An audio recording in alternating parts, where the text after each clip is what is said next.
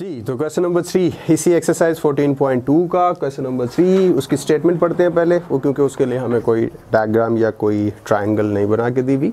तो स्टेटमेंट पढ़ते हैं, उसके अंदर वो कह रहा है show that in any correspondence of two triangles if two angles of one triangle are congruent to the corresponding angles of other यानी दो ट्राइंगल्स दी हुई हो आपको, और इसके अंदर गिवन इन्फॉर्मेशन वो ये दे रहा है कि दो ट्राइंगल्स हैं, और उनमें से दो ट्राइंगल्स में से जो एक ट्राइंगल है, उसके दो एंगल्स दूसरी ट्राइंगल के कॉरेस्पॉन्डिंग एंगल्स के इक्वल हों then the triangles are similar तो आपको ये प्रूव करना है कि वो ट्राइंगल्स क्या हैं? सिमिलर तो मैंने ये दो ट्राइंगल्स आपके लिए डिज़ाइन करी. सपोज़ मेरे पास फ़र्स्ट ट्राइंगल है ए बी, सी और दूसरी ट्राइंगल है मेरे पास डी ई और एफ़ अब अकॉर्डिंग टू द इंफॉर्मेशन और according to the statement statement एक दफ़ा फिर से ट्रांसलेट कर देता हूँ, वो कह रहा है कि आपके पास दो ट्राइंगल्स की कॉरेस्पॉन्डेंस है और उनमें से जो एक ट्राइंगल के दो एंगल्स हैं, वो उस दूसरी ट्राइंगल के कॉरेस्पॉन्डिंग कॉरेस्पॉन्डिंग मतलब बिल, तरतीब तरतीब के लिहाज से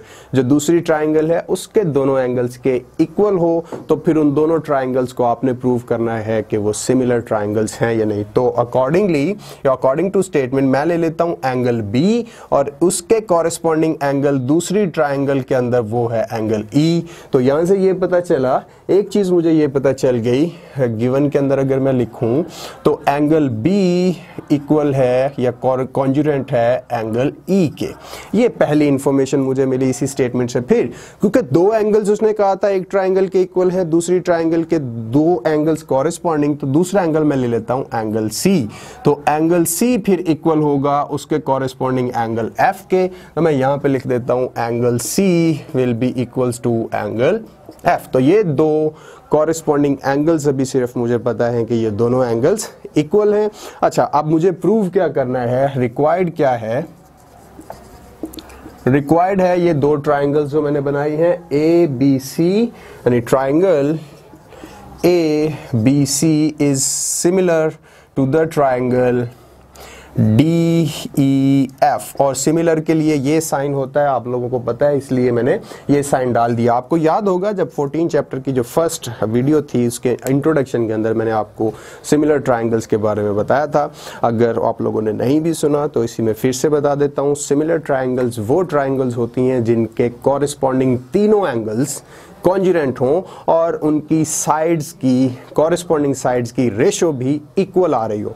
अब, अगर इसको आपको सिमिलर ट्राइंगल प्रूव करना है, इन दोनों ट्राइंगल्स को, क्योंकि यही हमें रिक्वायर्ड है तो आपको सिर्फ़ और सिर्फ़ ये प्रूव करना है कि इसका एंगल ए इक्वल है एंगल डी के। अगर आप ये प्रूव कर देते हो तो फिर ट्राइंगल ए बी सॉरी इस ट्राइंगल ए बी सी के तीनों एंगल्स एंगल बी और एंगल सी एंगल ई और एंगल एफ़ के रिस्पेक्टिवली ये दोनों ऑलरेडी इक्वल हैं। आपको सिर्फ़ एक, एक और एंगल प्रूव करना है। इक्वल एंगल ए को एंगल डी के इक्वल अगर आप प्रूव कर देते हो तो आप ये कह सकते हो कि इसके तीनों के तीनों एंगल कॉन्जुरेंट हैं। और अगर कॉन्जुरेंट है तो ऑब्वियसली फिर इनकी साइड्स की रेशो जो होगी वो भी इक्वल होगी। और अगर ऐसा हो कि किसी दो दो ट्राइंगल्स की कॉरेस्पॉन्डेंस के अंदर दोनों ट्राइंगल के कॉरेस्पॉन्डिंग एंगल्स इक्वल हो जाएँ और उनकी साइड्स की रेशो इक्वल आ जाए तो फिर हम कहते हैं कि वो सिमिलर ट्राइंगल्स हैं। तो actually in this particular question you have to prove only that angle A will be equals to angle D वो कैसे करते हैं? हम अभी यहाँ पे साथ साथ रीजन देते जाते हैं और साथ साथ हम स्टेटमेंट देते जाते हैं। तो यहाँ पे मैं स्टेटमेंट देता हूँ। और इस साइड पे हम रीज़न लिख लेते हैं। अच्छा सबसे पहली रीज़न और सबसे पहली स्टेटमेंट उससे ये लिखने के, लिखने से पहले मैं आपको बताता चलूँ, आपको पता है कि किसी भी ट्राइंगल के तीनों एंगल्स को जब आप सम करते हो तो उनका रिज़ल्ट आता है 180 अगर इस ट्राइंगल के तीनों एंगल्स को सम करो तो आपके पास बन जाएगा angle A plus angle B plus angle C will be equals to 180 और इसे मैं रिज़ल्ट वन कह देता हूँ और सामने आप सिर्फ़ इतना लिखोगे एंगल्स ऑफ़ ट्राइंगल और ट्राइंगल के लिए हम ट्राइंगल का साइन ही दे देते हैं। ट्राइंगल ए बी सी क्योंकि ए बी सी के तीनों ट्राइंगल्स का सम जो है वो 180 होगा। इसी तरह किसी भी ट्राइंगल के तीनों सम्स का एंगल 180 होगा। सिमिलरली यही कंजेक्चर या यही रिज़ल्ट आप इस ट्राइंगल जो डी ई एफ़ है, इसके ऊपर भी अप्लाई कीजिए तो angle D plus angle E plus angle F ये भी इक्वल होंगे 180 के। और इसे मैं रिज़ल्ट टू का नाम दे देता हूँ। अब अकॉर्डिंग टू द इंफॉर्मेशन यहाँ पे देखिएगा जरा।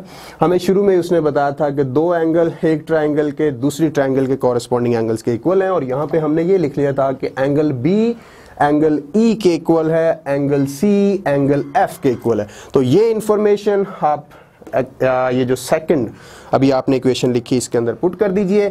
मतलब एंगल ई e की जगह पे आप पुट कर दीजिए एंगल बी और इसी तरह एंगल एफ़ की जगह पे आप पुट कर दीजिए एंगल सी तो मेरे पास ये बन जाएगा एंगल डी इसकी जगह पे वैल्यू पुट नहीं कर रहे सेम रहेगा प्लस एंगल ई e की जगह पे।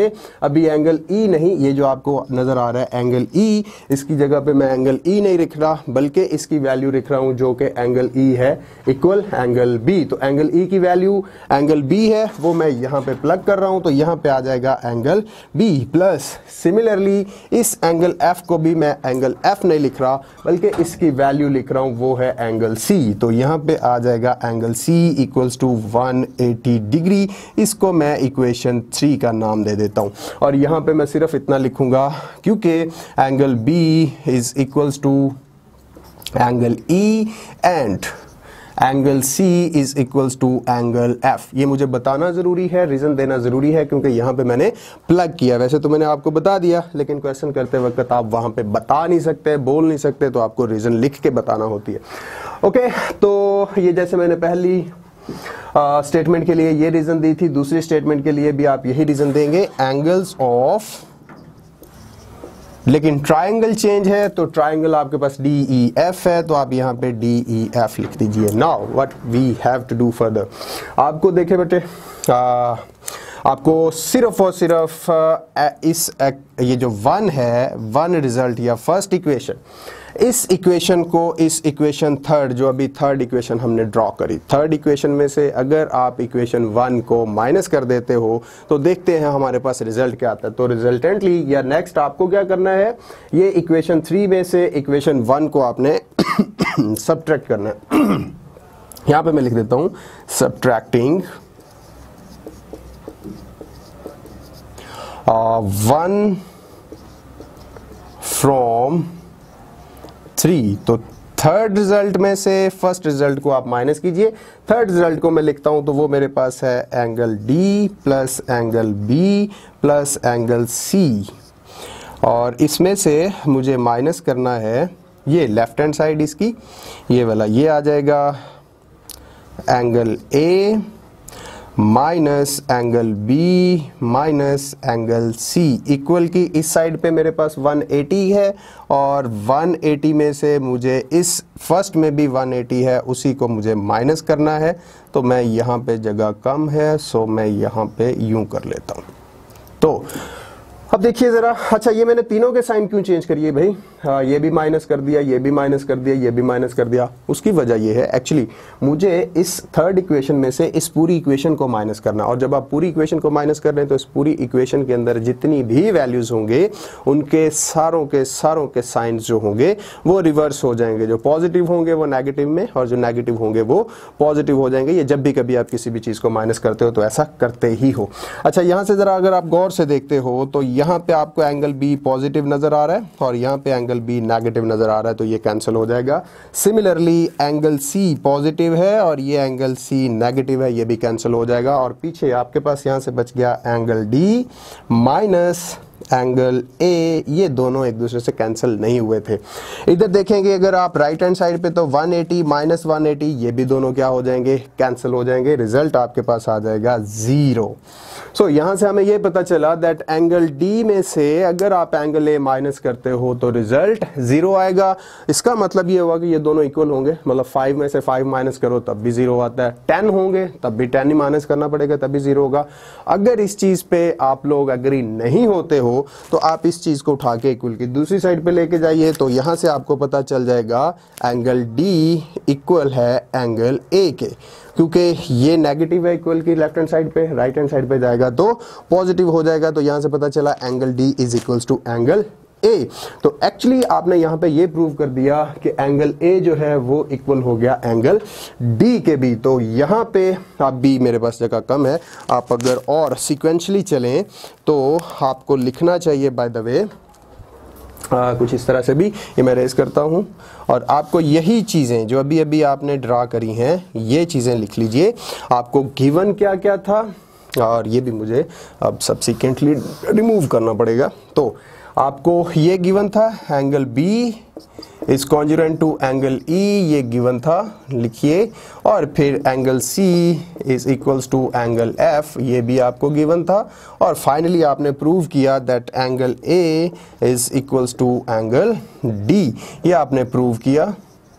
और यहाँ से हमें ये पता चला कि दोनों ट्राइंगल के जो कॉरेस्पॉन्डिंग एंगल्स हैं, वो तीनों के तीनों एंगल्स इक्वल हो गए। और अगर तीनों एंगल्स इक्वल हैं तो आप यहाँ पे लिख सकते हैं थस जो कॉरेस्पॉन्डेंस थी दोनों ट्राइंगल्स की, वो दोनों triangles like triangle A B C is similar to triangle D E F एक चीज़ बताता चलूँ, वो मुझसे गलती से स्किप हो गया। जब हमने स्टार्ट में लिखना शुरू किया था स्टेटमेंट और रीजन तो उसके बाद मुझे यहाँ पे लिखना चाहिए था स्टेटमेंट से नीचे, यानी ये स्टेटमेंट और उसके नीचे मुझे लिखना चाहिए था in correspondence triangle A B C और ट्राइंगल डी ई एफ़ तो एक्चुअली ये लिखना मैं भूल गया था स्टार्ट में। आप ये स्टार्ट में लिख लीजिएगा। अदरवाइज़ आपने फाइनली प्रूव कर दिया क्योंकि तीनों एंगल्स दो डिफरेंट ट्राइंगल्स के इक्वल हो गए और अगर ये तीनों एंगल्स इक्वल हैं तो फिर आप समझ ही गए हैं कि ये दोनों ट्राइंगल्स एक दूसरे के सिमिलर ट्राइंगल्स हैं और यही आपको प्रूव करना था। बहुत सिंपल क्वेश्चन था। नेक्स्ट क्वेश्चन के लिए मिलते हैं नेक्स्ट वीडियो के अंदर। अपना बहुत ख्याल रखिएगा और अगर किसी चीज़ के बारे में कुछ मिसअंडरस्टैंडिंग हो तो आप अपना फीडबैक ज़रूर दीजिएगा थ्रू कमेंट मैं आपके कमेंट्स का वेट करूँगा। अल्लाह हाफिज़।